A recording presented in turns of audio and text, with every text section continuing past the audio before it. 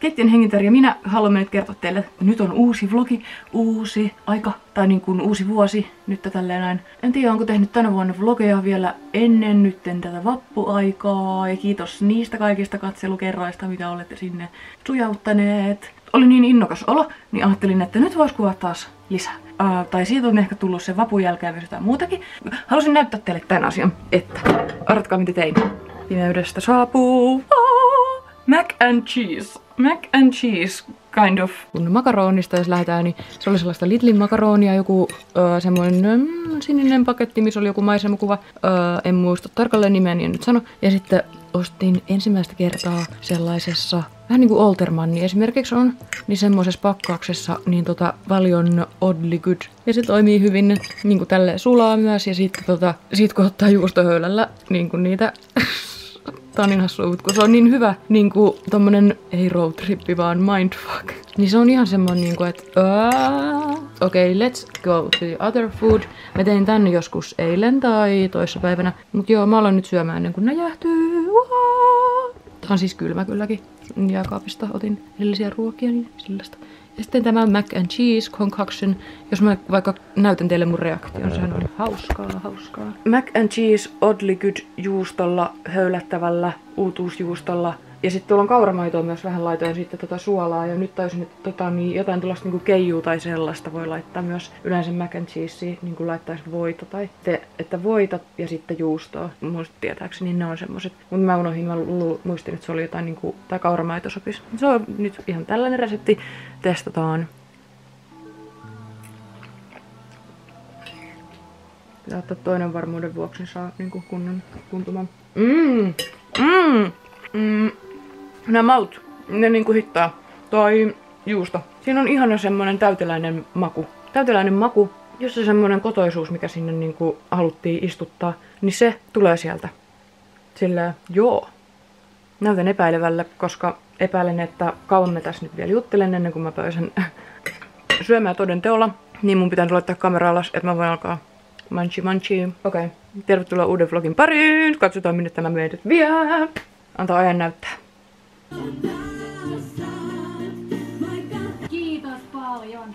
Katoin tätä telkkaria äsken. Sieltä tulee niinku toi Bum Bum. Niin siinä oli nyt niinku artistei. Niin ne teki semmoisen vähän niinku battlen.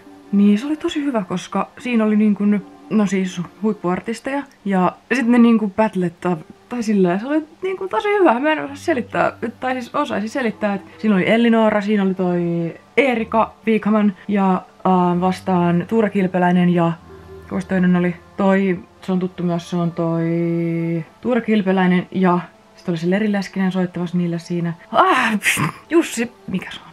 Jukka Poika. Jukka Poika. Pahoittelen, kun unohdin tämän nimen, mutta tiesin sielussani koko ajan, että olet minulle tutumpi kuin, sorry not sorry, kukaan muu niistä artisteista, mutta se battle-juttu oli ihan mahtava. Niin kuin ne lauloi kaikki sellaisia tunnettuja biisejä, ne melkein kuin, niin kuin solju niin kuin ne biisivalinnat aina silleen niin kuin rakentui silleen toisensa niin kuin päälle tavallaan, mutta se on battle-meininki. Tosi hyvä. Mä oon yllättynyt, koska niin kuin, sit vaan vähän aikaa silleen, hetkonen, mitä ohjelmaa mä katon? Sitten on silleen, ai niin, se oli toi Bumtsi Bum. Niin kuin, okei. Okay. Mm, joo, jäi mut ihan niinku lapsuuden muistoon nyt toi Bumtsipun maininta. Että lauantai-iltana saunan jälkeen niinku siinä niinku pallohuoneeksi sitä kutsuttiin siitä sauna- tai suihkutiloista kun tultiin. Siellä oli semmonen minitelkkari tai silleen, no, pikkutelkkari, tai en tiedä, oliko sillä mitään eri nimeä, mutta se oli niinku semmoinen pienempi telkkari, ja sitten siellä oli niinku sohva ja tolle, ja sitten se nimi, huoneen nimi oli pallohuone, ja me katsottiin bumtsipumia siellä saunan jälkeen, tai ennen saunaa. Varmaan join muumilimsaa. Hyvä muisto. Ja tosi hauska toi battle-juttu.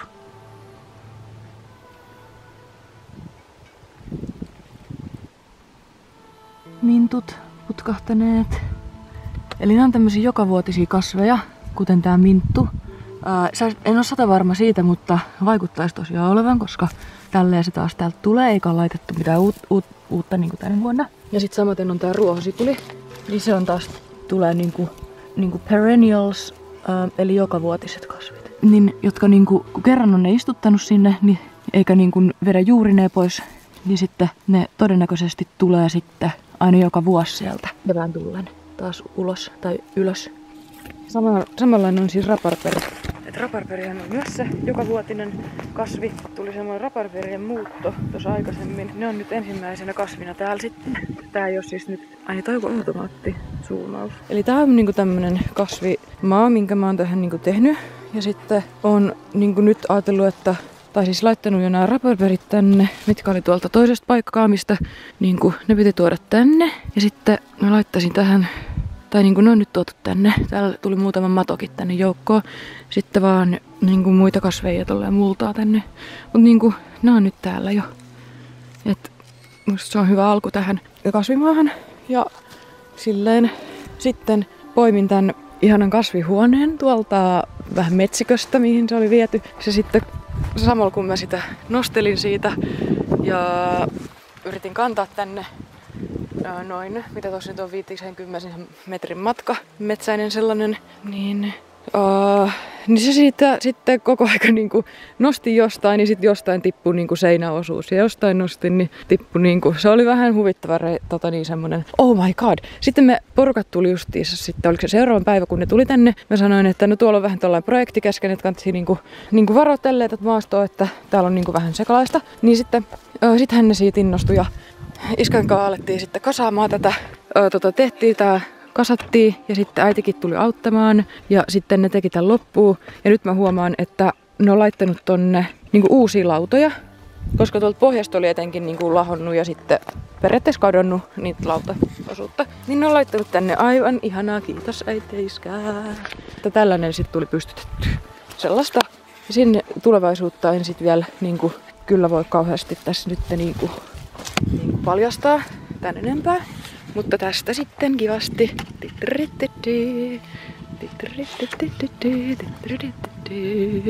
Uhu.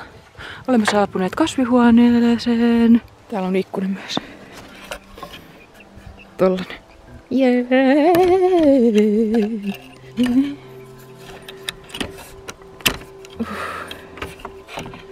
No, tota, se on vähän nyt väistämätöntä, että tänne vlogeihin tulee, niin kuin mä kyllä tuolla esittelyvideossa silloin, joskus vuosi sitten vähän yli, niin sanoinkin, että täällä on tämmöistä niin luonnonmukaista meininkiä, mitä tää nyt on tällaista kasvelu, kasvelu viljelyhommaa täällä kanavalla mahdollisesti, niin tota, ehdottomasti kyllä varmaan tulee näkymään lisää, koska näitä mä tykkään kuvata.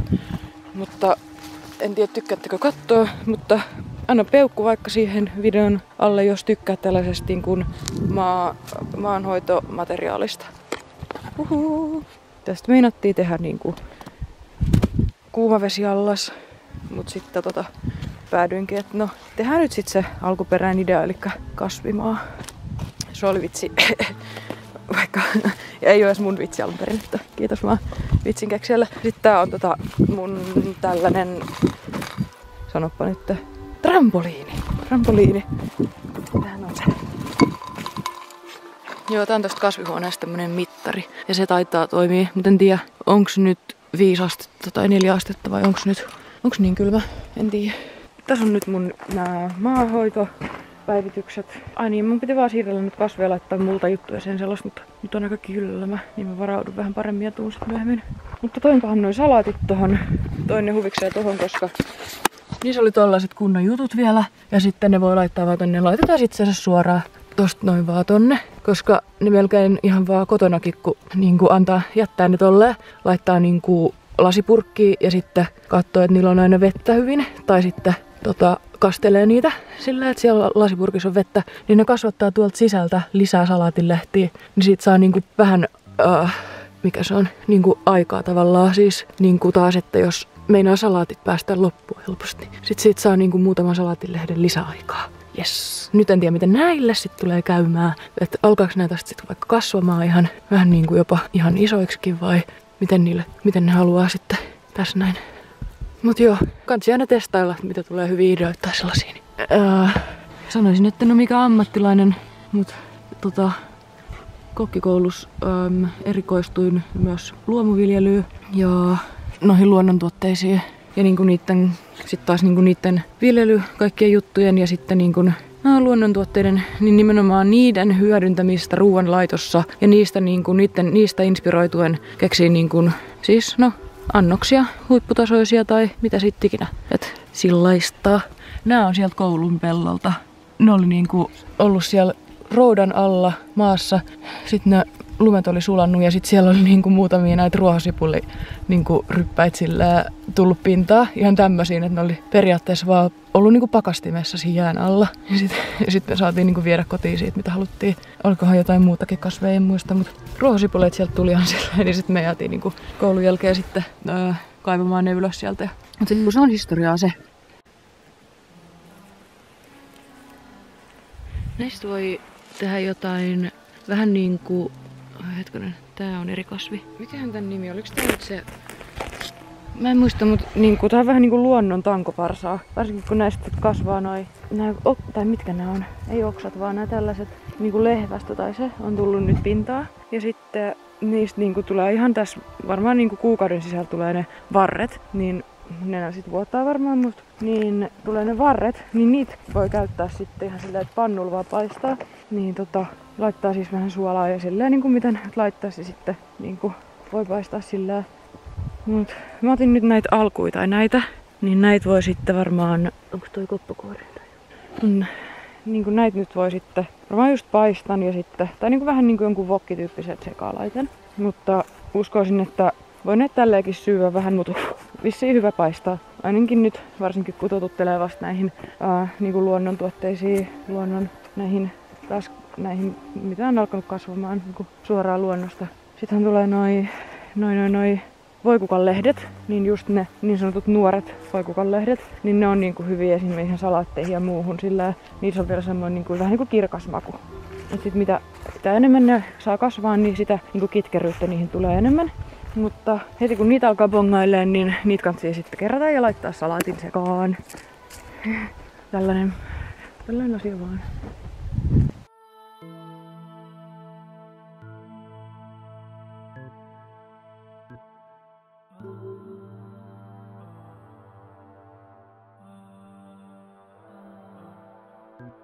Pumpsipumista euroviisuihin. Joo.